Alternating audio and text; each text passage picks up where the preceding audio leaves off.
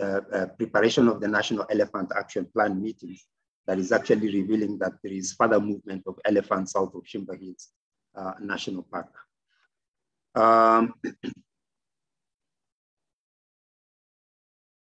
the 13 elephants that are going to be translocated it's actually a composition of uh, three calves um, and uh, majority of uh, the others are, are, actually what we call uh, medium elephants. And then there are also the mothers, there are six of them. There are actually six females. Uh, and most of the males are within the ages of two to probably about five months. And so it's a complete herd. and the origin of this herd is a mixture some of them uh, left from Tanzania, others from Zimbabwe, and others from South Africa. So that's actually the composition of uh, the herd that is actually going to be moved from Kenya. The report, I'm just going to do a synopsis just to give us an idea, um, identifies the positive impacts of the translocation. Uh, one of it is that uh, it's going to create employment opportunities. Uh, it is also going to promote tourism, uh, both local and uh, global. Kenya has been, since COVID hit uh, the globe, uh, Kenya has actually seen an, an, an increase of local uh, Kenyans actually visiting the conservation areas. And then also, it's also going to enhance community empowerment in various aspects. And then the other one is also, it's also going to enhance wildlife conservation uh, together also with animal welfare issues. And then of course, the issue of managing population viability. So uh, the area is suitable for elephants, but we don't have elephants. And then the negative impacts of the projects, of course, is disease transfer. Uh, that one also needs to be taken care of. And then the human wildlife conflicts. And then there are issues of poaching and illegal hunting. Uh, one of the reasons why the elephants declined in the Shimba Hills, I think it's, it's attributed to poaching and illegal hunting from the reports that I've read. And then also vegetation loss due to fencing. Uh, and then also for the establishment of the enclosure once the animals arrive in Kenya, some certain vegetation is going to be cut. And then there's also the element of transportation. We are well aware that the elephants are going to come by air to Mombasa and the issue of now, once they get to Mombasa airport, is to whether they want to go through the ferry uh, that's leaving the Mombasa Island to the mainland, or whether they are going to take the long trip, uh, which is uh, slightly longer. And then, of course, issues also to do with water for the elephants. Climate change is also one of the issues that has been singled out. Uh, and then the other one is also the occupational health and safety uh, and then issues to do with security, uh, particularly for those who will be working in the sanctuary, uh, and then also the impact on the ex existing populations. Uh, remember, these elephants are coming from, uh, uh, from a wild park, and then they're also coming to interact also with wild elephants that are within the Mwaluganje, the, the ecosystem, and then the potential inbreeding issue. So these are just some, but uh, the synopsis that I wanted to share with you that is in the report.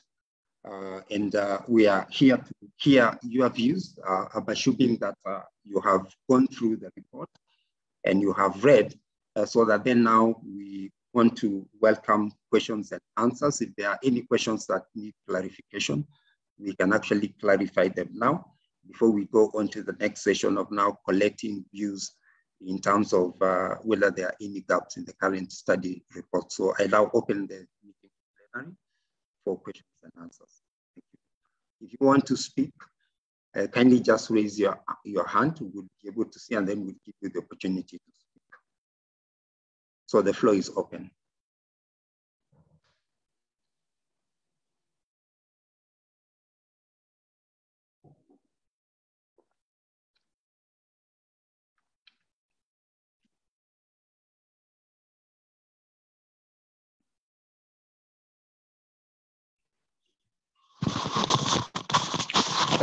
I have a question. Yes, proceed. You can also mention your name before you ask the question. All right, my name is Felix, Friends of Nairobi National Park.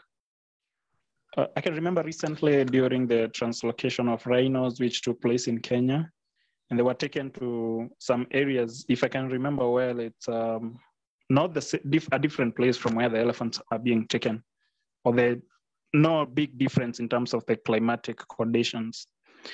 And it was um, confirmed that the rhinos, most of the rhinos dying because of the issue of uh, water quality and the salty water conditions. Have they been able to consider such a factor, the water quality that uh, the elephants will be taking, noting uh, the difference of the quality that they are taking from the United States or where they're coming from, the zoo, and the situation of water to where they are going. Well, thank you. Maybe we can take about uh, three questions and then we can uh, address them. And I know here we also have uh, experts with us on the call. Uh, I will also be requesting uh, some of them to respond to some questions. So is there any other question?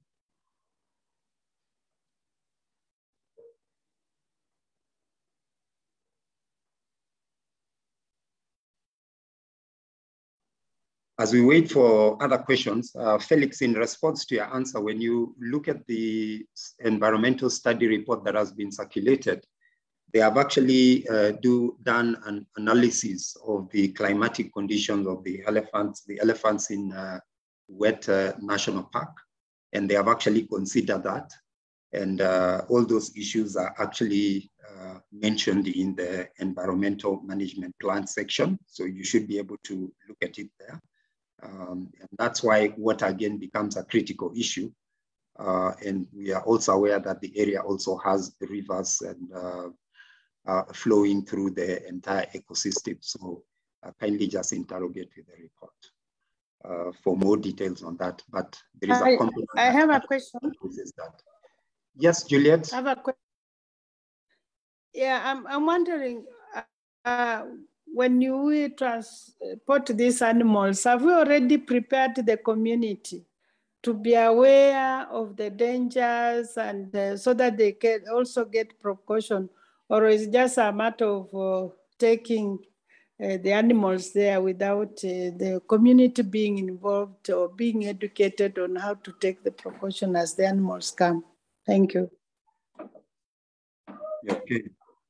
Thank you very much, Juliet, for that question. I think we'll have to uh, we will have to look at that when we are actually looking at the proposals within community involvement. Yeah, thank you. I think we'll deal with that as we look at the mat that we look at the issues included in the study report. But that's a good question. Steve? Yes. Yeah, I guess there are several people with hands up, and now I'm barging in front of Rabia but just because it's a related question, I spoke with um, Rob Hartley from uh, the Sheldrick Trust about this this whole move, and uh, he mentioned that the Sheldrick Trust was responsible for or had raised funds for. I have to I have to be I'm not sure of my words here, but that that funds were available for a fence to completely surround Shimba and Mwaluganje, the whole the whole area.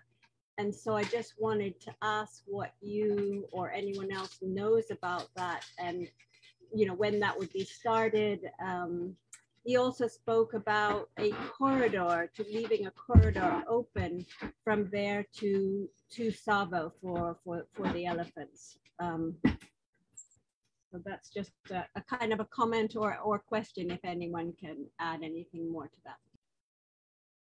Yeah, excellent. Uh, thank you, Joyce, for mentioning the hands that are up, up and I can see uh, your hand was up and you finished. And then the next one is Keith and Rabia. Maybe we hear from uh, Keith and Rabia and then we can respond to those ones.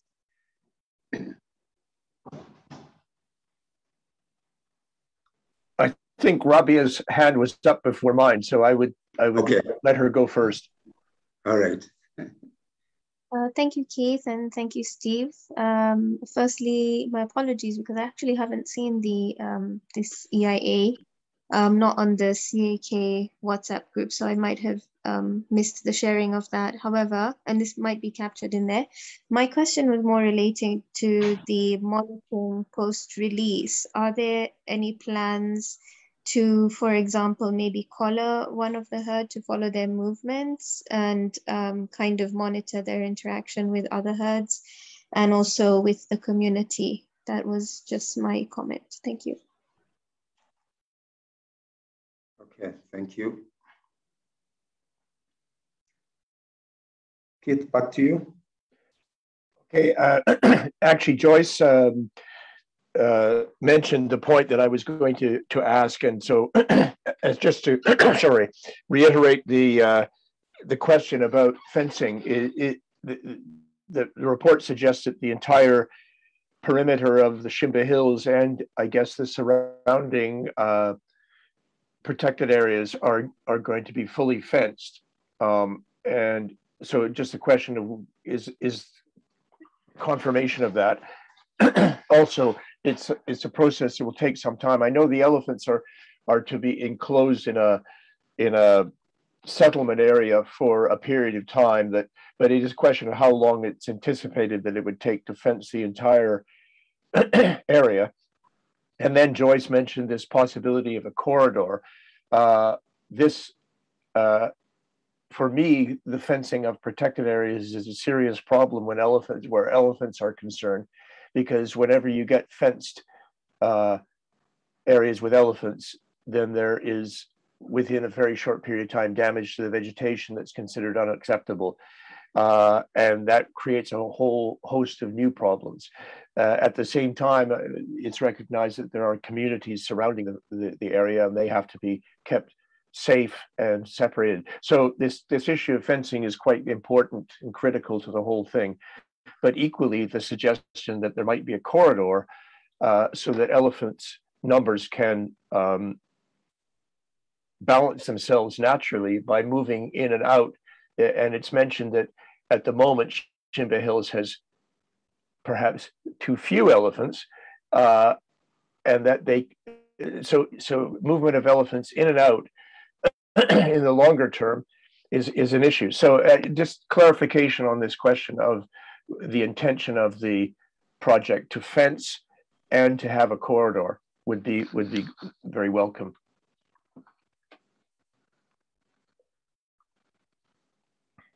Thank you, thank you. Uh, allow me just to to to share with you the part, part of the report where the um, interesting. I can't, I can't, I can't even share anything right now to figure out. Oh, Sheila, can you make me a co-host so that I'm able to share my screen? Done. You have? Okay, excellent, thank you. Uh, first of all, the report uh, has collared a few elephants and uh, what I've projected there is the movement uh, of the elephants. And the northern is the Mwaluganje Sanctuary. And these are not many elephants, probably just a few that have been collated. You can see the movement of those elephants is up to the northern part of uh, Shimba Hills.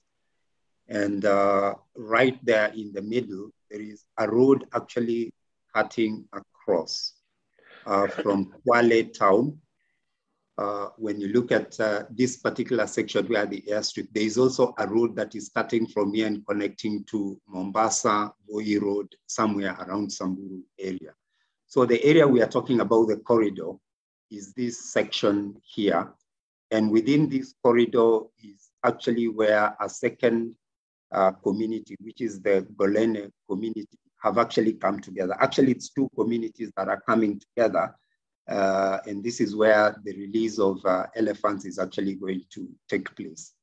And uh, surrounding is actually going to be to be communities. And this is where I totally agree with uh, Dr. Joyce and uh, Dr. Keith uh, that fencing would, would, would not be about fencing the entire facility, but creating some movement between Shimba Hills and Mwaluganje for purposes of uh, connectivity. And I think that is what the report identifies. So the fencing is to minimize conflict with people uh, and then also to limit access so that then the movement of elephants will also happen. But I also did mention that new information and new data that is coming is also showing that elephants are then moving also from Shimba Hills, that is the southern part, all the way to Lungalunga. And I'm happy that Dr. Mulama is here, who have been doing a lot of work also in terms of uh, uh, the Sokonot project. They will also shed some light.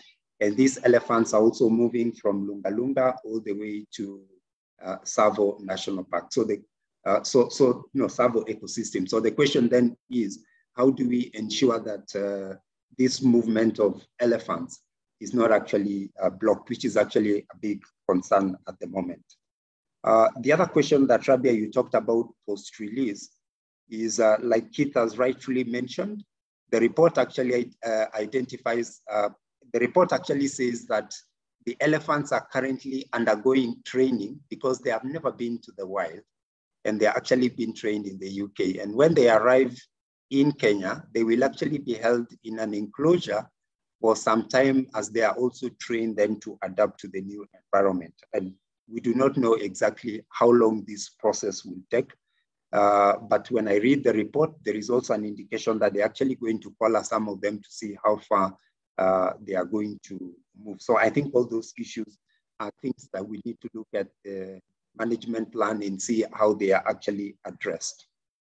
Uh, and also, uh, the, because it's going to be the first, um, I don't purport to have read the entire report, but uh, there is also going to be active research monitoring in terms of adaptation and in terms of movement, uh, because nobody has experience of uh, moving elephants of this magnitude into, uh, into a wild uh, habitat. And so those are the responses that I have for now. And then Juliet addressed the issue about community preparation. yes, when you read the report, the, there has been an engagement with the communities because the two communities have actually formed what is called Golini and Mwaluganje Wildlife Conservancy. And uh, through that, they have also uh, had their bit of share, uh, particularly uh, submitted their comments on the proposed translocation.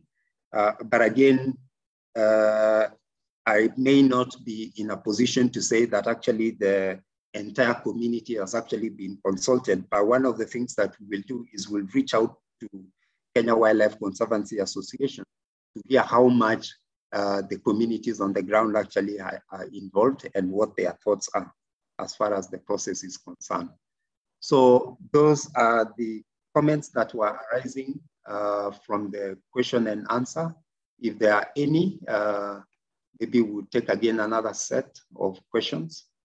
Joyce, I can see your hand is up, or that's an old hand. Um, uh, it's a new hand, but uh, maybe an old comment. Just uh, you mentioned about the corridor between Mwaluganje and Shimba, which I guess would be something along the lines of the, uh, you know, from um, uh, uh, the Kimana Sanctuary to Amboseli, where it crosses the road. Um, but Uh, in in thinking what I was talking about was a or what Rob had mentioned to me was a corridor to Tsavo, and I guess that then fits in with what they've been finding on the with the satellite tracking. But that the, the plan would be to leave it open in some way so that the elephants could also move out of this system to the greater Tsavo ecosystem. Excellent. Thank you. Thank you. I know Dr. Mulama is here. Dr. Mulama, do you have any comment on that?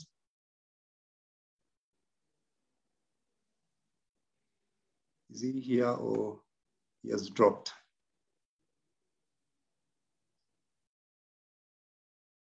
I had seen him here, but I know there is actually that new information coming in that there is actually a corridor connecting Shimba Hills and, uh, and the Tsavo West. And particularly these elephants that are coming, I don't think they will be able to move that far. Uh, but we will see what, what, what, what their adapt, adaptation speed and uh, movement will look like once they get here. Good. So I, I would like to take us now back to the report where we will look at the issues that are, are mentioned in the report, particularly uh, on the section that looks at the environmental management plan action. Uh, but maybe just to also, before we get onto the report, is the issue of the identification, the impact identification and analysis. Uh, is there any gaps that you think uh, uh, needs to be filled or there's a particular issue that has not been uh, identified in the report? I'm making the assumption that all of us have actually gone through it.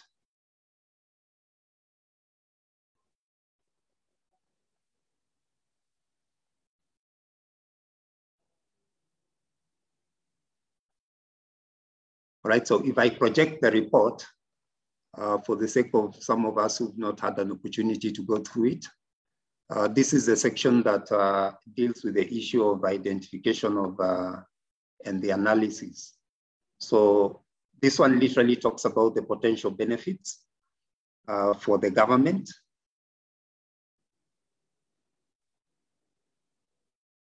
Right, that's a high, has a high potential for tourism uh, within to attract tourists into that area. Uh, we know very well, we know at the moment there is very low uh, movement of tourists to Mwaluganje Sanctuary. And then there are also the benefits to conservation uh, that is going to help uh, increase the elephant populations uh, together also with existing ones. And then there's the direct benefit to communities. Uh, I'd mentioned earlier on, there's going to be the issue of uh, job um, employment to communities. Uh, and then there's also going to be sharing of uh, revenues uh, through tourism.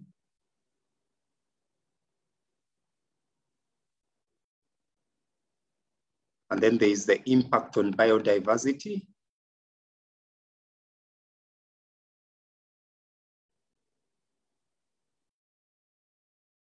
And the other one is the conservation, education, and creation of awareness.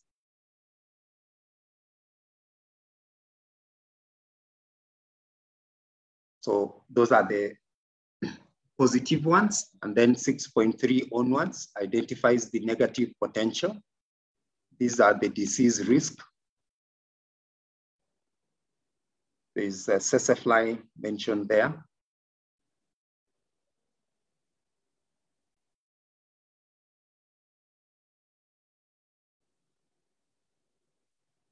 And then of course, there is a summary of uh, diseases that are there and not just transmission of uh, diseases uh, between the elephants that are being translocated, but then also between the elephants that are that will have arrived also with the wild elephants. And that's why there is also the issue of uh, anthrax, uh, tripo, the, the tsetse fly, uh, is uh, ranked very high. The rest of them are low, sorry.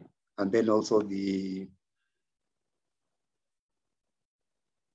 the, the babesiosis is also high, and then the anaplasmosis uh, are also high. So those ones are there. And then mitigation of the diseases is through surveillance and rapid response.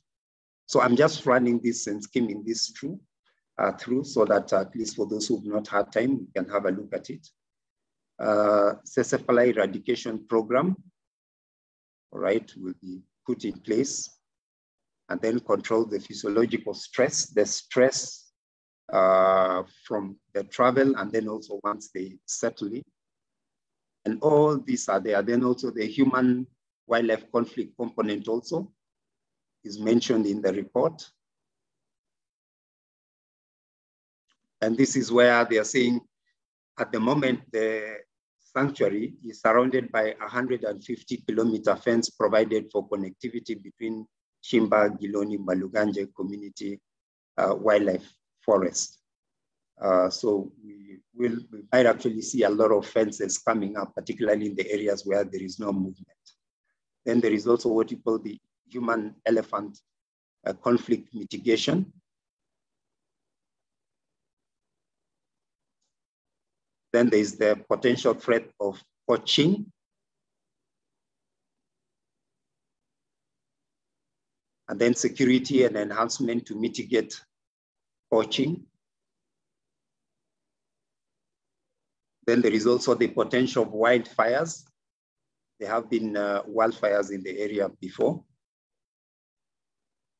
And some of these wildfires are intentionally started. Uh, some of them are also attributed to climate change issues.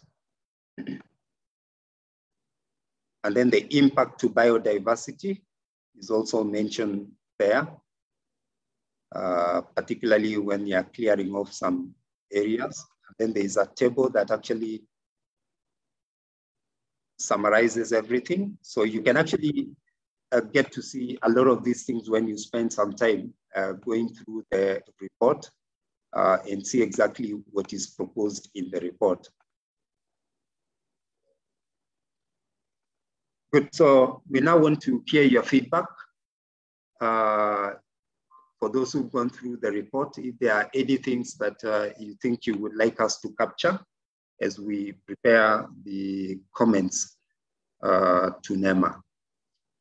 So I open the floor again. I can see two hands are raised up. I want to give the opportunity to,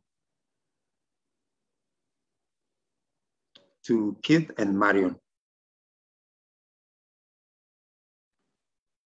Hello, uh, Steve. Thanks very much. Um, thank you for an excellent summary of the of the report. Uh, I have had a chance to look through it briefly. Um, so I picked up a few points. I, first of all, I'd like to say I think in, in general, this principle of elephants, uh, discouraging elephants to go into zoos in the first place, but then the idea that this could this uh, could serve as a as a um, well, it, it, it, does serve as as a kind of a test case and a, and an experiment on the the, the the viability of moving elephants in the other direction. Uh, so I think that for this reason, uh, it's it's an important uh, thing to try. I think or to support. I think I, I I'm I'm greatly in favor of of that aspect of the the the project. So that's a very big on the in the in the positive uh, impact uh, column. Uh, also, uh, the, if there is uh, if it is possible to, to translate the presence of the elephants into increased tourism, whether it's uh, national, locally based tourism or, or an adjunct to international tourism with people based at the coast, uh, and the benefits do flow to the communities. I think that is also a very positive aspect of this project, um, this proposed uh, uh, move. Um, However, I have a few questions arising on the on the con side. Um, so, if if you allow me, and I don't want to dominate, but I, I just try to go through them very briefly. Uh, the, you mentioned the, this question of disease risk and control of tsetse fly. Um, now, I, I know that there's a general program. Well, I don't know. I assume in Kenya there's a general program on tsetse fly uh, reduction in or eradication for to help people with livestock, uh, particularly. But this seems like quite a big intervention uh, to undertake to, to, to try to eradicate the tsetse flies from the Shimba Hills kind of ecosystem just to allow the arrival of a relatively small number of elephants. So I, in other areas, I know in southern Africa, when, the, when in Botswana, for example, the, the, the approach to eradication of tsetse flies was to spray uh, from the air, and that would kill all insects or a lot of them, and that would be very damaging ecologically. This the method may be more selective in Kenya, but I think there is an ecological impact on the ecosystem of removing the tsetse fly. I, I think there must be predators, birds, etc., that live on tsetse flies. So, I, so in, in fact, the eradication of tsetse flies itself needs an impact assessment.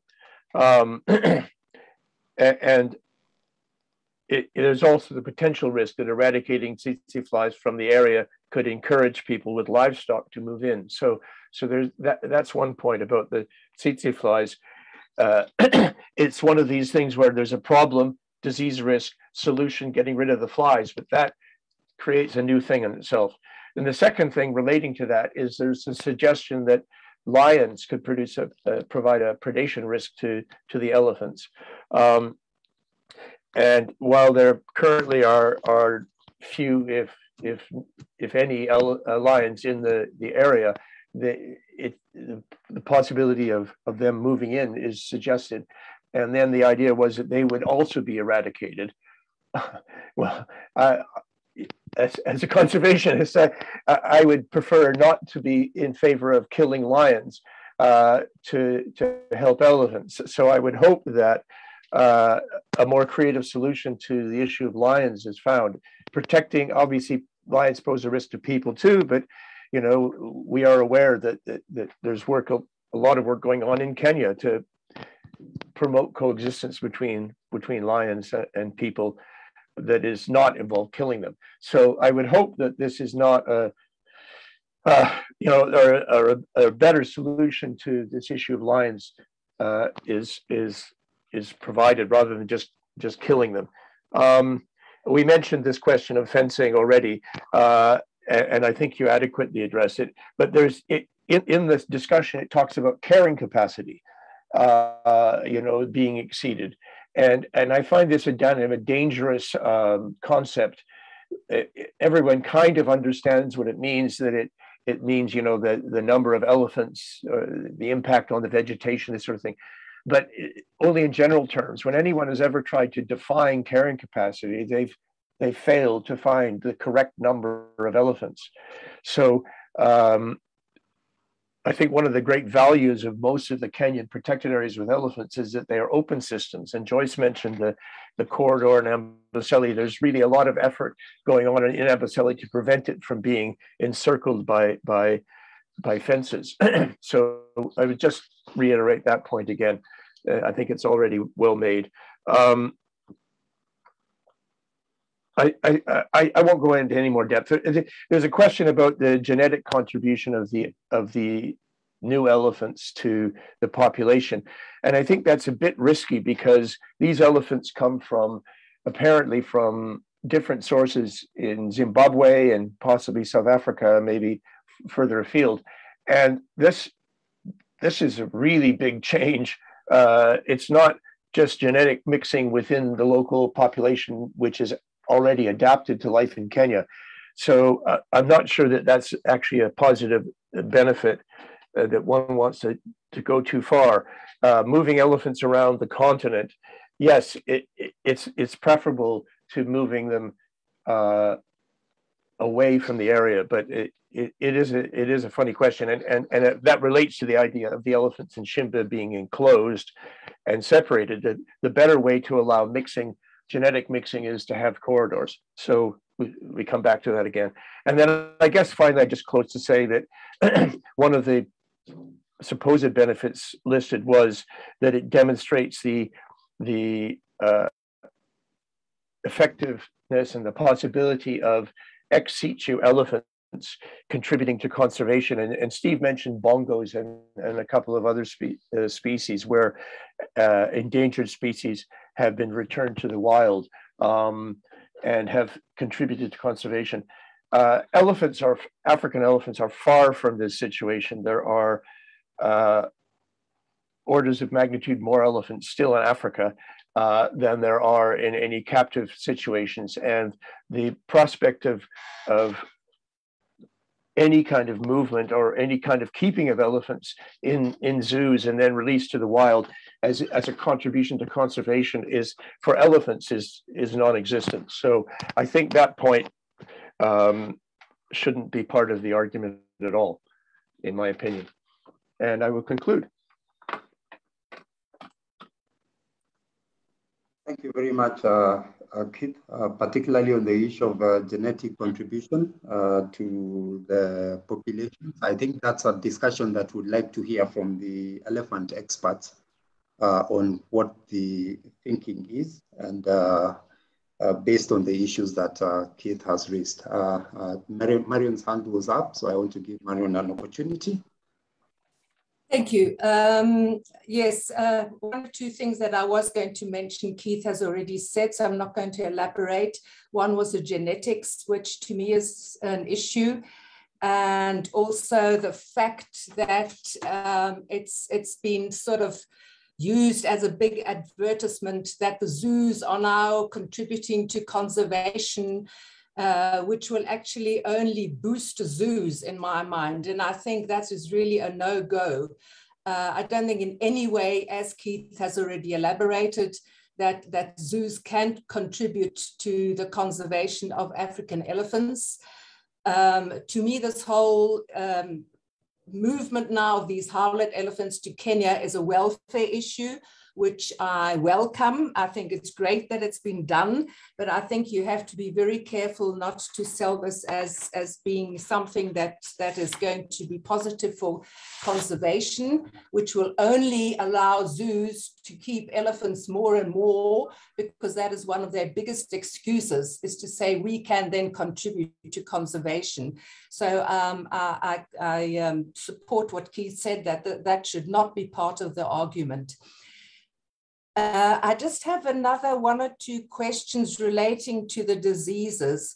Um, I'm just wondering if you, um, I see you've, you have considered the, the trypanosomiasis, but you, have you considered herpes? I don't know how much of an issue it is, but quite a few elephants and African elephants do uh, um, carry, carry that, the, the virus. So that might be an issue. I also don't know if there are anybody in, in um, the UK is now looking at that. Um, TB is another thing that could be a worry. Now, I know that in zoos, they test for TB by doing a trunk wash, which requires the elephants to be fully trained. Now, as far as I'm aware, these elephants at Howletts are not trained and they are currently being trained to go into containers so that they can be flown. But I doubt that they are going to be uh, totally trained uh, to the degree that you can touch them and that you can take a trunk wash. So those are two things that I'm, I'm a bit concerned about. And also, how will you deal with the ticks, which obviously is a high risk, which the zoo elephants have absolutely no immunity against. You do have a rapid response uh, program for disease outbreak, but are you doing anything to prevent it or to um, see that you can intervene before it's actually an outbreak and might eradicate your entire population? Um, my other questions are uh, related more to the training and maybe we'll come to that later. Thank you.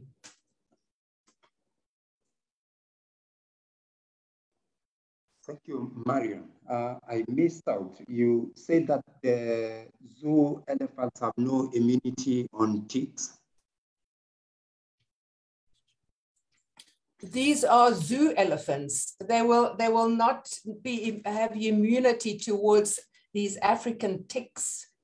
I mean, some of these elephants are third generation from in the zoo. So um, that could be, I'm not saying it is an issue, but I just feel it should maybe be considered because it might be an issue. Okay, okay. Thank you. I get you now. I get you now. Uh, thank you so much for that uh, elaborate. Uh, I think uh, what I will request you to do is just, uh, uh, you know, send me those diseases that you have mentioned because we are not quite familiar with diseases that animals in the zoos do go through so that we can see whether they have been addressed. And that also goes along with the issue that Kate also mentioned about the eradication, the eradication of fly uh, and how they actually plan to do it. Thank you so much for that. I can see Joyce Sandys. Sorry, yes. can I can I just ask you to please send me your email and I can send you some information. I've got various papers on on the herpes virus and TB, um, which might be an issue. It need not be, but just if you could kindly somehow send me an, your email address that I can provide that information for you. Thank you. Excellent. Sheila will say, Sheila will share the email address with you. Thank you so much. Uh, I want to give uh, Joyce an opportunity, then Alfina. Yeah, just um, I I have not read the report yet. So, but I was uh, alarmed to uh, hear what Keith said about lions and you know uh, uh the concern about elephants being killed by lions or the tsetse flies. And I think it's important that we recognize this is an experiment. If if these elephants can't survive in the wild, um, they can't survive in the wild. You know, the rewilding doesn't doesn't work, or we learn from our mistakes. But to uh, to interfere in a natural system to the point where we're killing an endangered species to bring a zoo elephant to to the wild, it, I think that's totally unacceptable. Um, and to spray or do you know damage the ecosystem in any way um, through this process is, is just not worth it. So I think we have to accept that some elephants may well die. Uh, that's natural. Uh, same happens in, you know, Amboseli or anywhere else from, from, from disease or accidents. And uh, we have to learn from, learn what we can about this through this experiment.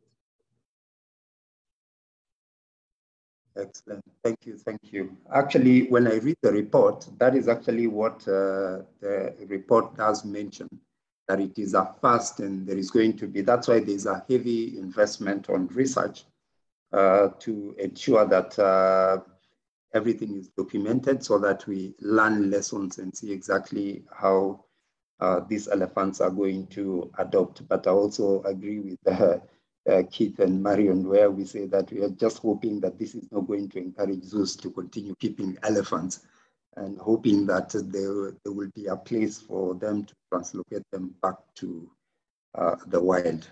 Uh, thank you very much for those Sorry. comments. Uh, Delphina? Can I just add uh, that I totally agree with that. This should not be give the zoos any reason to say that they are going to be like the, the last chance for elephants yeah, yeah. Thank you. I think we're all in agreement for that. Can I just barge in here because I would just like to say something about the lions and and and sorry uh, if I may, I, I seem to have read in the report that there are no lions at Shimba, but uh, of course uh, that doesn't mean that they might not come in. But um, I think the training aspect is, is, going to be crucial to, to all of this because the elephants will have to be trained also to stay away from the people. Uh, to stay away from the communities. They are now used to having people around them. And that is something that can be done. We have done that in South Africa. It can be done. And they can also be trained to learn what are threats to them, such as lion or, or buffalo or whatever. Uh, but that is part of the training process, which is absolutely crucial. And um, I know that they, a very successful reintroduction from two circus elephants was done uh, about 30 years ago, 30, 40 years ago. Uh, Randall Moore uh, reintroduced circus elephants from America here in South Africa into Pilanesberg Game Reserve. And he spent months training the elephants about what to eat, about dangers, and and before actually leaving them on their own. And that is something that's going to be highly important. We here in South Africa have reintegrated many ex-trained elephants, not from other countries within South Africa. So the habitat is, uh, issues don't, don't um, you know, come up on, on, are not an issue like with this translocation from the UK but the success of the operation will rely on how the elephants are trained to learn to stay away from danger and to learn what danger is. Sorry about, budging in, but I just wanted to uh, add that on about the lions. Thank you. Thank you, Mario. Delphina, your hand was up. Yes, uh, just a quick one on biodiversity impact. do we know maybe if they have done some baseline biodiversity studies or maybe are there any rare or endangered plants that are at risk, especially when we consider maybe what would be the impact when it comes to the artificial browse offtake from the natural environment? Thank you. Okay, uh, thank you. Uh, Dr. Ian Redmond.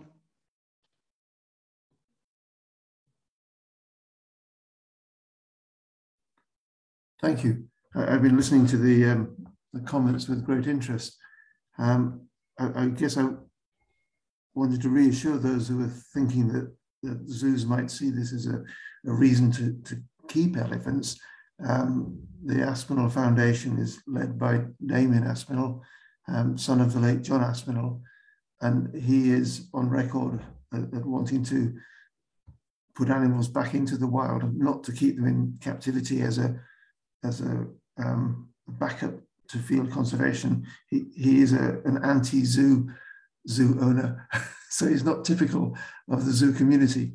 Uh, I'm curious that, that the, I'd like to know what the criteria they had in mind when they selected this site to put these elephants into, because uh, usually the IUCN reintroduction guidelines um, require you to find a site that is in the former range of a species, but where that species has been extirpated, or at least is down to a, uh, such, a, such a low level that it can't survive, and that you're reinforcing that otherwise doomed population. That doesn't seem to be the case here, um, which does raise all those issues that have been discussed about disease transmission. Uh, either way, um, but these elephants uh, if they have grown up in captivity with a lot of veterinary interventions, will have a, a, relatively weak immune system. It hasn't been challenged by all the pathogens and organisms that it would have uh, developed to cope with had they grown up in this area. Um, and in terms of anticipated losses, uh, the Aspinall Foundation has been putting captive born gorillas into the into natural habitat in Gabon um, and there have been some losses from disease, and they're used to the, the consequences of that, the, the public criticism of putting apparently healthy zoo animals into, into the wild where they meet pathogens that they have no immunity to and, and die. So I think that they will be ready for that consequence. But I do agree that this is a very positive sign that a zoo has concluded actually keeping these animals in captivity is not um, not just cannot be justified um, just for human entertainment. So they deserve to go back into the wild.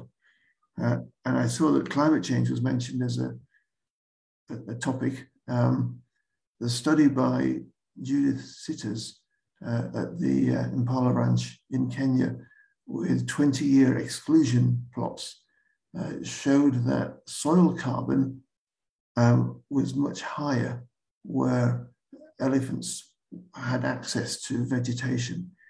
Um, so there could well be Some a... use heat to melt. Yes, yes, like the one that needs PVC. As for the raw materials, you're in for a treat. Of different substances from that. Melanie's intervention is deliberate or accidental, but uh, um, yeah. So, so if ability or color one can choose to create objects that.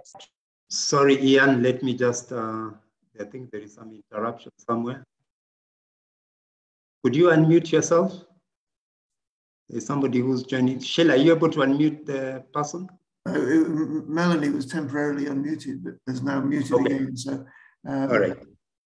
No, I was just saying that that if if this if they're going into an elephant depleted or or an area where elephants have, have been lost, then the, their presence will restore the elephant component of the ecosystem. And that could be of benefit to biodiversity, uh, not just because you're adding an elephant, but because of the impact they have on the habitat. And, and that is now being recognized in more and more places to be very positive on the climate change because not only are elephant seed dispersal um, planting the trees of tomorrow, but they're also um, increasing the, the level of soil carbon. So it does, um, that there is a potential climate benefit to putting elephants back into an ecosystem which has lost them. And I can, I can send the, um, the paper uh, from the study in uh, uh, Mpala Ranch in Kenya uh, that, that showed how the restoration of, of megafauna, elephants and giraffe, to an area which has previously just had cattle, greatly improved the sequestration of sto and storage of, of carbon in the soil. Thank you. Thank you very much, uh, Ian. Yeah, and, uh, materials. Certainly. Not to mention that this particular plastic does not decompose. Uh, thank you, Ian, and we certainly look forward to read that report because there's a whole chapter on uh, climate change. And when you look at the study report, uh, it is not uh, detailed. It's probably a very, very small section. And it also talks about uh, carbon trading. And I don't know how the Shimba Hills ecosystem or the entire ecosystem with now the introduction of elephants actually qualifies for also carbon trading uh, schemes. Those are some of the questions that uh, I had. Uh, good. Uh, I think uh, the feedback that we are getting is actually helping us be able to interrogate the study report and be able to give our comments. And Sheila is going to share the email contact with you uh, so that you can share those reports so that you can see whether they have been uh, carefully studied and included in that discussion. Um, yes, Joyce, I can see your hand is up again. Thank. Uh, give you the mic. Yeah, um, no, I'm just, uh, I just skimmed through the report very, very quickly to look to see whether there was any um, detailed monitoring of change in behavior of the elephants. And I think that would be critical, you know, it would be a very good master's or PhD study where the elephants are, are and how, how their behavior and their social relationships, uh, their movement patterns change over time. And, and, and I think it should be a long-term study, um, you know, on the order of perhaps five years or something, just to see how and whether they they integrate uh, with the the Shimba population as a whole. So not just a like um, a translocation study and a release study, but really a long term a long term study. Thank you so much. And I think uh, your comment on that, uh, we might also have to look at it and see what opportunities this provides uh, and say, yeah, there is opportunity for more research, particularly in this uh, project. Uh, so thank you for that additional comment. Good. I have not had other participants uh, speak, but I can see quite a good number of them. I don't want to call you by name. we are now at 1117 and uh, and uh, we want at least to get as much of your input onto this report. And again, I know it is the first time uh, that uh, animals, uh, particularly elephants, that elephants are moving from a zoo to a natural habitat and uh, a wild habitat. It, it may look like there has to be a lot of interrogation once the animals arrive particularly on the training. And I probably just want to have some clarity or, or some understanding. How long does this training take? And I, I, was actually thinking as Marion and all the other speakers were talking about the kind of training, how do you train elephant, elephants to keep away from people? Uh, when we are hearing reports that uh, some elephants, some animals that are used to interactions with human beings will always keep on coming closer to human beings. And I don't know up to whether there is any paper that has actually documented uh, whether some of the problem animals in Kenya are actually those ones that have actually had a close interaction uh, with people. So that then as the training of the elephants are taking, then we also need another level of training to the humans, particularly the communities around this sanctuary, uh, so that they also know exactly how to behave. And that's why I concur with uh, Dr. Joyce that this presents an opportunity for more research, not only on the elephant, but then also more research on the vegetation uh, just like uh, has asked the question um, uh, about uh, changes, about changes on the on the vegetation. And then the other one is uh, there was a question asked about whether there was anything done on the site selection. And to be very honest, I looked at the report and uh, I don't think we had any uh, sites that were considered uh, because when you are talking about uh, translocation of a herd, uh, you probably want to, to consider others, but the report actually doesn't detail how they arrived at uh, Mwaluganje.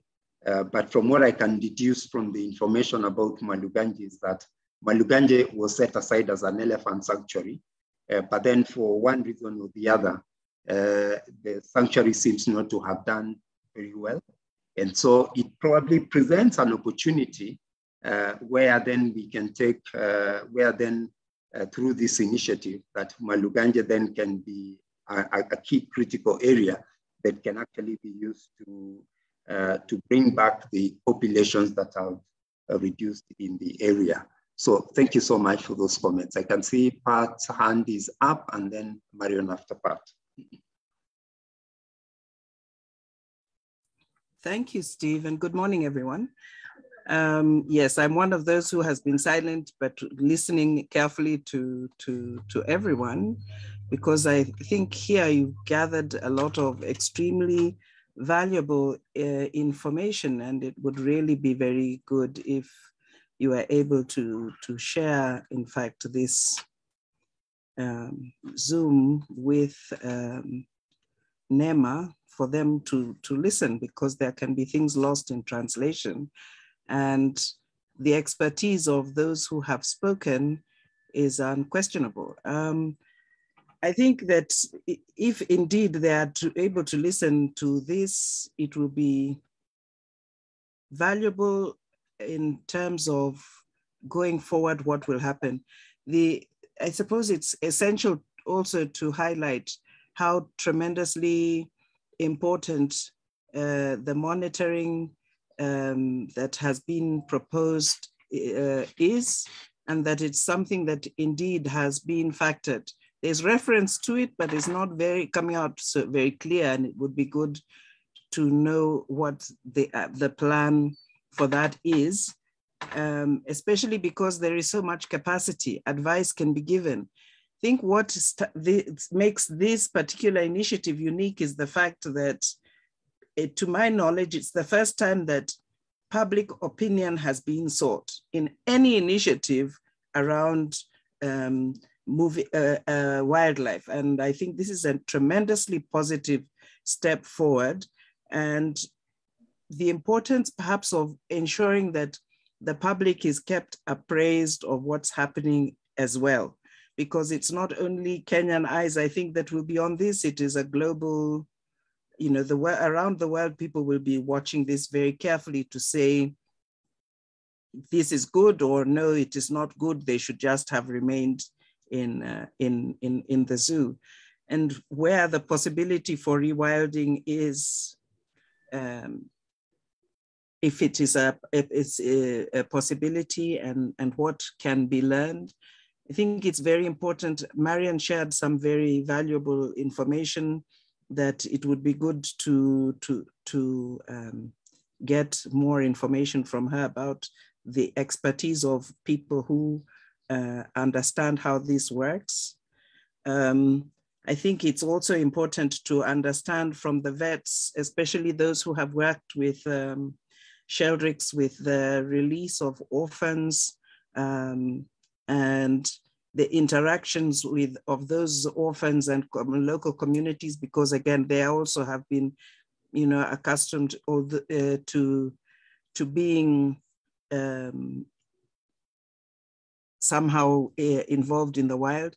Amongst the conservationists we have, we have got a good number of professors this I think is it's you know if there is a way for CAK to to to share this information within the universities where um, there are those students who are learning about these things.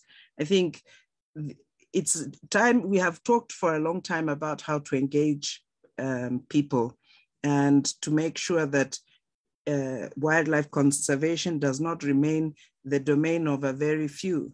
And this may represent that opportunity because I think they, you know, of course, people always want to hear good news and that there's going to be success and so on. Um, but they're equally the same who will be highly critical if um, these these any animals will die. And I think we've heard from Ian in the case of the gorillas that were taken to Gabon that some did die.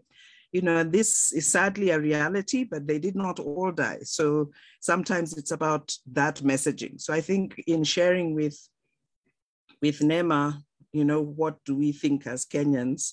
You know, that this is an opportunity. We are prayerful that it will be successful, but there are a number of things for them to consider. And as I said at the beginning, if it's possible to share with them this Zoom so they can hear from those experts who have spoken at length on this, I think they will find it rewarding because here we are kind of preaching to the converted, whereas there um, there's a lot that, you know, a lot of uh, capacity that they could get from this. Thank you very much.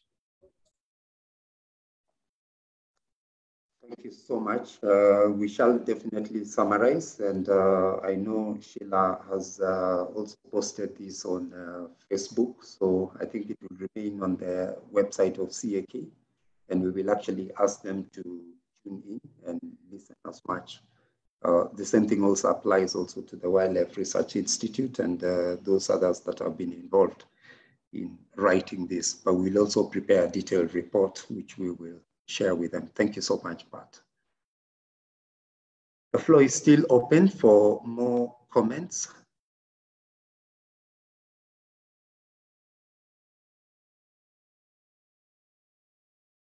Yes, Marion? I think that's a new hand. Yes, thank you. It's a new hand. I wanted to reply to your question about the time for the uh, reintegration purpose. Now, because these are zoo elephants, uh, it's going to be absolutely crucial how how this is done. That that that's that's going to to be the the, the A and O of, of the success. Um, I see there's a mention in the report of a first of a one hectare boma, then a 20 hectare boma. That is perfect. That is exactly what we would be suggesting and a slow uh, integration. But there's a lot of other factors that need to be considered. They need, the elephants need to be weaned off people, so to speak.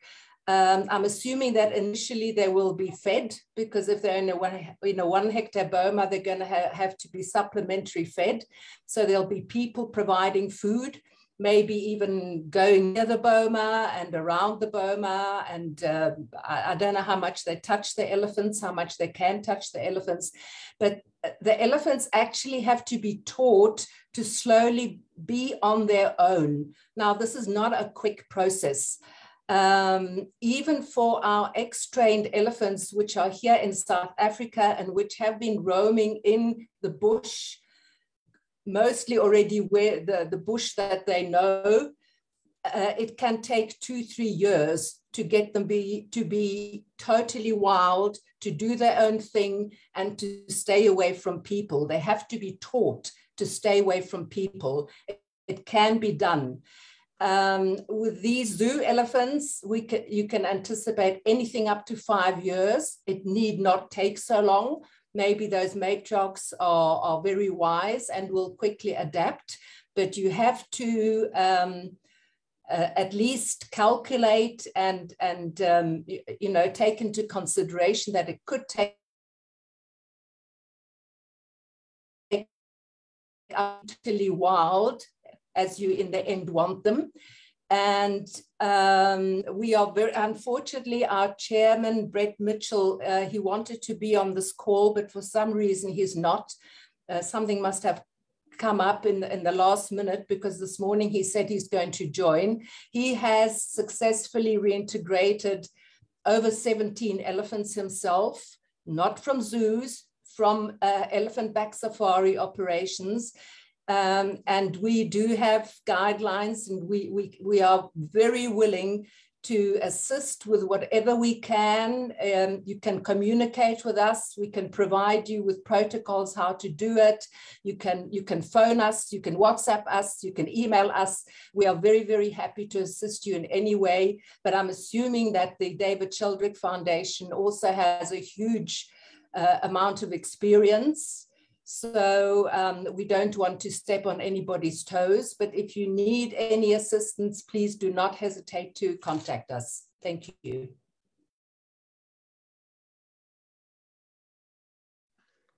Thank you very much, uh, Marion, uh, for that wealth of uh, uh knowledge and uh, that you have, and for that willingness to engage with you uh, when we need to. Uh, is there anything that you can advise that uh, we need to capture, particularly for the communities on their preparedness? What is it that the community should prepare for?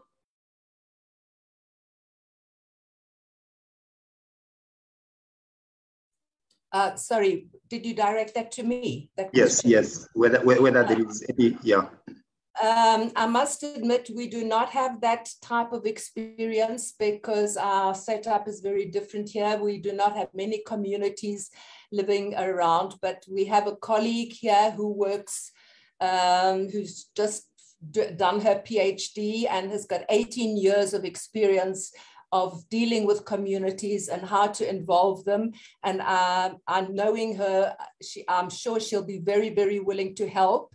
So um, I can ask her also to, to communicate with you any questions that you might have and uh, bring her into the, this discussion. No problem at all. Thank you.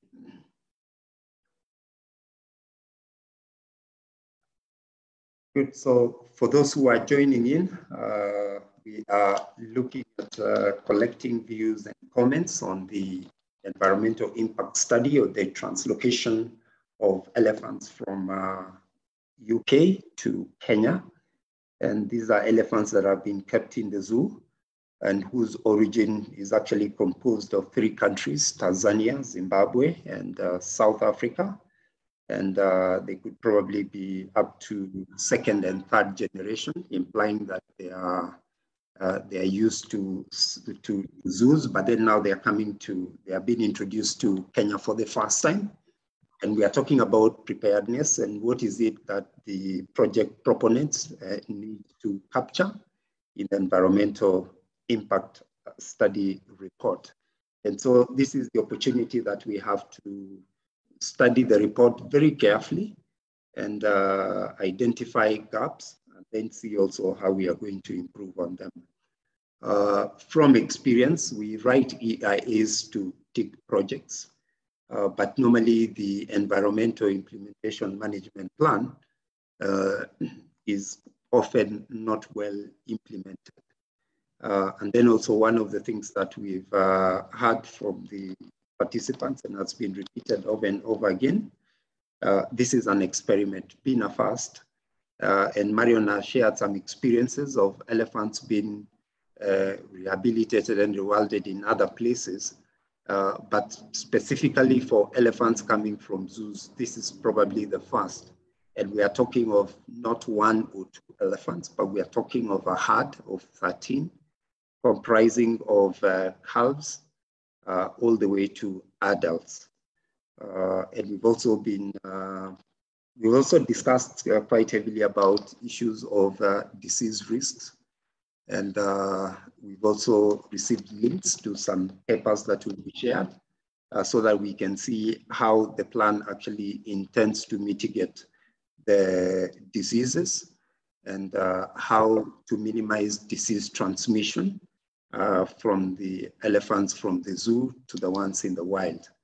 And then uh, uh, Joyce also mentioned to us that this is actually an opportunity for more research uh, to study uh, the changes in behavior and the social relationship, uh, the social relationships of these particular animals. And so the monitoring and evaluation component of this study report is one that we will need a lot of data to be able to make recommendations to strengthen it. So the floor is still open. If there is anybody who wants to comment, or you probably have a question that uh, you just want to ask so that you are also clear in terms of uh, uh, understanding the project, please do feel free to do that. I now want to give the mic to Ian. Over to you, Ian. Uh, thank you. I'll try and speak uh, louder so that those who couldn't hear before uh, don't have that problem. Oh, sure. Yes, I forgot to mention that to you. on on the um, on the training of the people in the area to um, adapt their behaviour to the arrival of these elephants. Um, I, I, do know that Born Free has a project um, teaching elephant behaviour uh, in schools and communities in Kenya, and I'm sure that, that uh, Joyce would, would be able to uh, advise on, on that because people in general, if they're not elephant aware, don't know how to behave, and their behavior, if confronted by an elephant, um, will, will uh, influence, the, influence the outcome of that encounter. Um, so being uh, having some, uh, some training beforehand, some teaching beforehand is, is a, a, very good idea. On the other hand, if the fencing proposal is um, completed, then that sort of unexpected encounter will be less likely uh, unless the people are uh, illegally entering the protected area. Um, but I just wanted to flag up, there is a, a, a, fairly close example of an elephant reintroduced from a lifetime in captivity, and that is a case of Nina, uh, a female elephant who spent, I think, 20 odd years in captivity in Arusha and who was then successfully released into Mkomazi.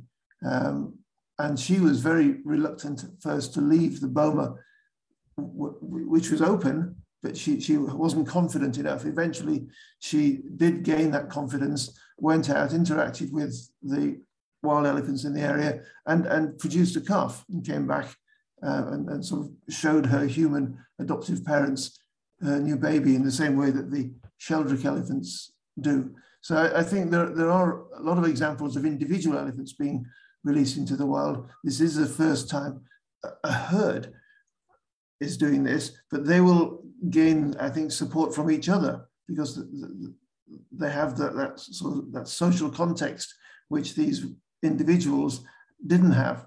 So I think in terms of their sort of emotional stability and ability to cope with the stresses of what they're going through, um, they're in a, a, stronger position than the cases where just one elephant is um, released back into the wild.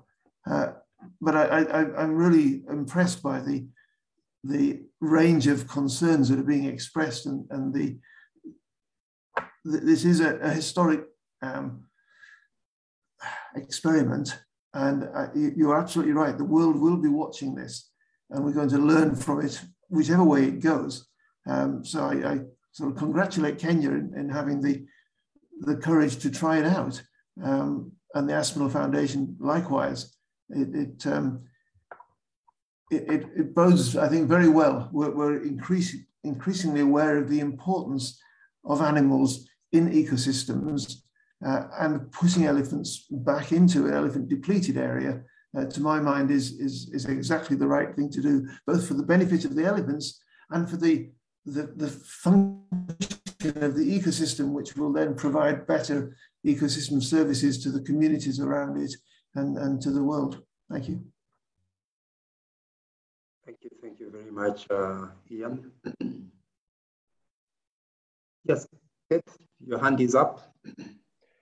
Uh, yes, uh, thank you very much. Um, just a few points. Um, one of there's a there's a couple of um, I guess I say plus minus, but uh, uh, one of the one of the um, unique aspects of this of this uh, project, and there are many that have already been mentioned. The fact this is the first of its kind, but it it because it's the first of its kind, um, the costs are very high. This is one issue. Uh, if this if this is to be a a model for the future, the cost of moving elephants from uh, Europe or further afield to Kenya, just the transport costs would be enormous. Uh, millions of dollars we're talking about. Uh, and, and the commitment uh, that's needed for long-term monitoring will also involve huge financial costs and human resource investment. So, uh, and Marion has mentioned uh, their experience in, in, in, South Africa, that it is, it, it, this process can take many years, not just months. So there is a, there is a huge cost to, to an event like this, and this applies to future events. But the, the fact is that there are people uh, and organizations around the world that are motivated by such things, or who, who are interested and excited by, by this prospect. There's a whole uh, community of people who post on Facebook and social media and everything whenever there's a, uh, a heartwarming story. And uh, to date, that that's that, those sources of funds have not really been tapped uh, and and uh, applied to conservation in the wild. Fundraising is always a constant challenge for for um, uh, conservation efforts. So this represents an opportunity. Although there's a, a, a problem of the, the, the, enormous cost, there's also a big opportunity that that this could open uh, the pockets of uh, individuals and organizations that have not previously been involved in conservation work of this kind. And so, although this is actually not really a conservation project, it's more of a welfare project, it does have, as we've discussed, implications for conservation in many areas. And so this is this is one of the very positive aspects is this this potential to uh, open the doors for for a new uh, a whole new uh, area of fundraising. Um, and this could be a benefit to Kenya certainly, and Kenya, Kenya uh, government and and the NGOs involved could could make use of this money, not just for the elephants uh, specifically, but also for the ecosystem and, and and wider conservation concerns in Kenya. So I think this point needs to be, be uh, placed into the the mix. Is this this potential for fund fundraising? It, it's I mentioned it as a possibility. I don't know whether any anyone has done any research into it, any you know uh, market research or such. I mean, that would be quite an interesting thing to do. I think to to uh, speculate and to to try to actually gather some information on what the new fundraising, the additional fundraising potential is from from something of this nature, which crosses the boundaries between welfare concerns and conservation. Um, that leads me to the second point of how important documenting this whole process is. Not just research, um, but new research, but just keeping uh, very careful records of all the, the activities and actions that have been taken, uh, successful and unsuccessful, what has worked and what has not worked, all the way along the line, and a commitment to transparency so that the there's a learning that goes on. Uh, I mentioned the, the you and others have mentioned the high profile of of um, this uh, case and how the world will be watching, and there will be a temptation to not report the bad things that go on uh, for fear of of bad publicity. Um, I think it's really important to be able to manage that process. You, if something goes wrong, it, it needs to be explained why it's gone wrong uh, and what people have learned. And so the a commitment to be to openness. If this is seen as something where uh, where there's a cover up or whether that where there's uh, bad news is hidden, and uh, that will reflect badly on the whole process in the long run. So I think that it's very important that this whole thing is going to be in the glare of publicity, but I think it's very important for there to be a commitment to uh, transparency of the documentation that that of the good and bad things that happen, the, the successes and, and, and, and failures, and then the learning that's that's gone on. Um, and and I think it's uh, the final point I just make is that there's mention of uh, elephants, uh, these elephants contributing in a way to depleted areas uh, or to genetics, as mentioned before. I think we think that shouldn't be emphasized too much uh, in the benefits of this project. There are many elephants in Africa already. Some are in places where they may not be wanted. Uh, others, their populations are growing. There's no need to bring elephants from Europe to restore populations or to create ecosystem services or to uh, support genetic diversity. There is plenty of scope for that within Africa.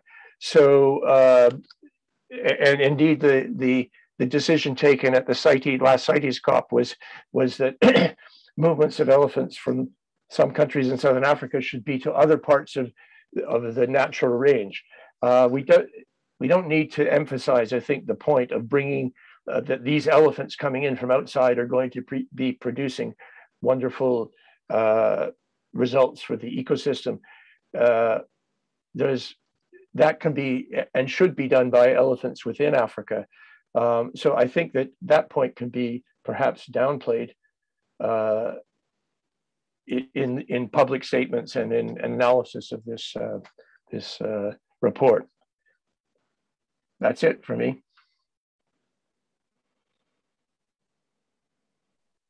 Thank you, thank you, thank you. Those are very, very uh, important uh, comments that you have uh, uh mentioned, uh, which we are actually going to work on them. Uh, we're actually going to include them in the report. good. I think we have discussed quite at length a few of those issues. Uh, particularly the rationale of uh, moving elephants and improving the genetic pool uh, of, from, from zoo animals to the wild. We've also discussed about issues of training of elephants and the adjustment. We've also discussed about to expect some mortalities, that mortalities will be there and we'll use the mortalities that will take place as a, a learning curve. We've also spoken at length about diseases uh, and we've also spoken at length about uh, Lisa, uh, Kate has actually brought in the concept of the issue of uh, the cost of translocation itself. And as we are talking about the cost of translocation, I was actually looking at the cost of actually uh, taking them through the training and adapting. They will not be used to eat the food uh, because this is something that they are not used to.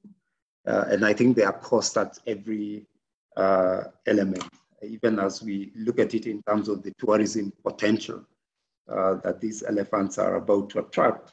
Uh, but there's quite a bit, and uh, I like what uh, uh, I like what uh, Ian mentioned that Kenya is taking a, a good risk, a good risk at this particular time. but we'll see whether it will bear fruits at the end of the day. I think um, there are no hands that are ready to comment uh, or there are no hands that are ready to ask a question. Uh, the information that we've received is uh, quite substantial, substantive at the moment. And I think we are going to retreat uh, and receive the information that we've received and see how we're going to submit the comments. Uh, we would request you to share with us your email address so that we'll continue sharing the final report that we'll submit with you. So for those who have joined, just uh, share on the chat your email address so that uh, for purposes of future uh, updates on, uh, on, on, on what will be needed, some of you may need to reach out to you for more help. we would appreciate that. I can see Marion's hand again is up. So Marion, the mic is yours. Just a very last quick question. Um, I saw on the plan, on the loading plan, that they intend separating mother and calves in adjacent in adjacent containers, but separate. And I'm a bit concerned about that. We usually move mother and very young calves together uh, that could be an issue, but I don't know how much influence you have on that. But it's just something that I was a little bit concerned about. Any rationale why that should not happen? I think that would be very important for us to put a note on that. And also, um, and also whether you have designs where you put the mother and the calf together.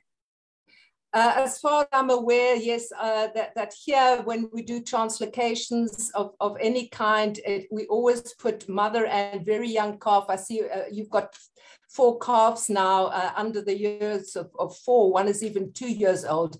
I think that could cause immense stress but maybe that is something that one would need to discuss with the vets. Maybe they're scared that the mother might crush the, the, the calf but um, the stress factor must be considered. In, and uh, our experience is that when you move the mother and calf together in one container, the mother is much, much calmer. But I don't want to interfere here with the vets who might, might have more experience, but it's just something that maybe you could question. Thank you, thank you, thank you. At least that gives me uh, adequate uh, information in order to request for that. the good thing about these public participation processes is it gives us an opportunity to interrogate and an opportunity also to engage and also challenge what is in the study report. And quite often, because it's a first, you may actually find that uh, the team that was actually putting this together may not have been aware uh, of that particular issue. Uh, yeah, thank you. I think I've taken that into consideration. Good. If uh, there are no other comments and feedback coming, uh, because we had intended to have this session run all the way up to one o'clock, uh, but also in view of uh, uh, people's time and schedules, which we highly appreciate, uh, I think we would like to bring this particular conversation to a close over the next five minutes so that then now we can take up directions in terms of way forward. Uh, we have recorded the session. The session was also um, uh, live fed on uh, Facebook. And so if you want to listen to it, you can go to Facebook and also be able to see it and listen. Uh, if there are any issues of concern uh, that uh, probably you think of them later on, you can actually send feedback to info at Conservation Alliance of Kenya. We will put up a, a report which we will submit as required uh, through the participation process. And then we will also share that report with you uh, for purposes of just ensuring that uh, uh we are communicating with uh, clarity. Jo Dr. Joyce, I can see your hand is up. I give you the mic. Uh, sorry, Steve, I know you're trying to wrap up, but just a quick uh, comment. This is uh, coming up fairly soon. If if a student uh, could be found, I, I would really recommend uh, talking to Cynthia, seeing if you can uh, begin some sort of, you know, monitoring protocol, sit down and discuss with Amboseli Trust uh, and see if that person couldn't start going out with Nora and Katito um, and, and getting some basic monitoring understanding of, of elephants. And then you know, uh, others of us could could feed in on on what other aspects of monitoring should be undertaken, whether it's uh, you know acquisition of of plant species and uh, behaviors and so on and so forth. But I think this is something that needs to be you know looked at before the elephants are there so that the person is ready to go as soon as they arrive. Excellent, excellent. Thank you so much. Uh, one of the one of the other discussions that uh, we might actually recommend is that we delay the process, the process rather than rushing it. I think preparation is very, very important. And because this matter just came up recently, I don't think it would be prudent, particularly now that we are getting into an election uh, season for Kenya, uh, that it would be prudent to wait for the next government uh, come in so that then on issues to do with uh, funding and raising resources that at least it's something that the new government also is aware and, and, and, and, and can actually undertake a commitment to support a project of such a, a magnitude. And that also gives us time also to, to, to work with various teams uh, and access information, particularly on elephant behavior, uh, that would just not only help the community, but also the implementers of the, of the project. yes, Marion, uh, your hand is up also. I just wanted to, uh, yes, um, to confirm what, what Joyce said. I think it's highly important and, and I support that you, you do a study from day one on these elephants. I would even suggest, if at all possible, that the student or, or, or the researcher um, looks at the elephants and monitors the elephants and takes notes already while they are in the UK, gets to know, know the individuals, and then to see the difference from the before and after of the behavior. That could be very important if, if it's at all possible. Thank you very much. We will do this together with the Wildlife Research Training Institute uh, so that they grant them the permission actually to do it. And I think it's very important that we get uh, those students that are interested an opportunity to get the necessary access and permission to be able to conduct this research jointly with the Wildlife Research Institute.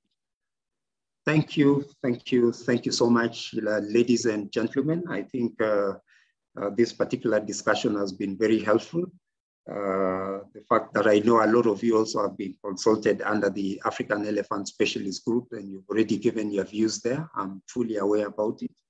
Uh, but I also appreciate you taking time uh, to be able to share your knowledge and your experience on the ground on what has worked. And uh, hopefully we should be able to, to, to, to, lobby our government actually not to rush the process, but give it every due diligence and ensure that they have taken every precautions and that whatever they have put in as mitigation measures are things that are practical and things that can easily be implemented. So thank you so much for your time and uh, wish you all the best of luck. But we will be in touch. Thank you for sharing also your contacts.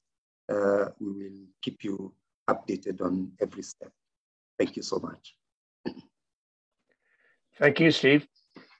Very good. All right. Bye now.